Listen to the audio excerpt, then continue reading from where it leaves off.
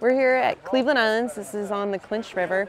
Um, upstream of this area, some years ago, there was a spill that actually caused a lot of the mussels in the area to die off. One of the projects that we're doing at Virginia Tech and with Department of Game and Inland Fisheries and U.S. Fish and Wildlife is we're introducing a lot of back the population into the area. The animals that are being released today were propagated at our Virginia Tech facility and also at the State Fish and Game facility in Marion, Virginia. And so this is a joint release this is the largest number of endangered animals being released at any particular time. The mussels have been uh, implanted with what's called a pit tag, a passive transponder. And so the idea is that uh, once the animal is buried, we can find them again because it's, we've got a sensitive instrument that can pick up that transponder.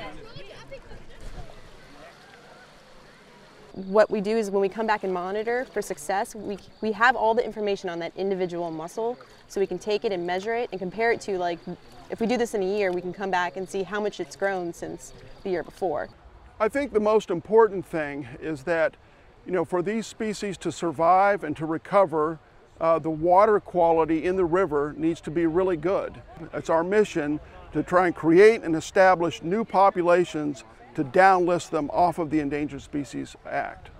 Everything uh, uh, as far as this ecosystem here, this river ecosystem, there's a lot of links, you know, there's, and freshwater mussels are part of those links. The mussels are basically the natural filtration system of the river, and so water quality is improved by having them here.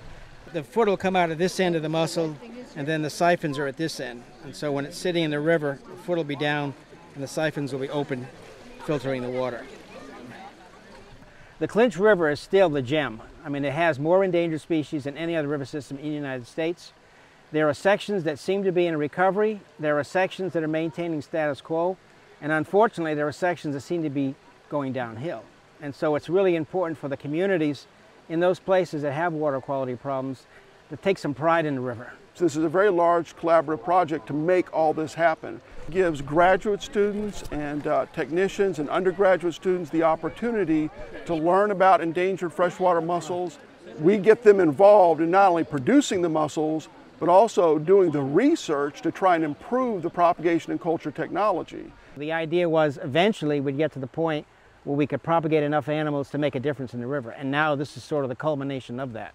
So it's sort of good to see not just the animals that are being produced, but also the number of people interested in what's being done.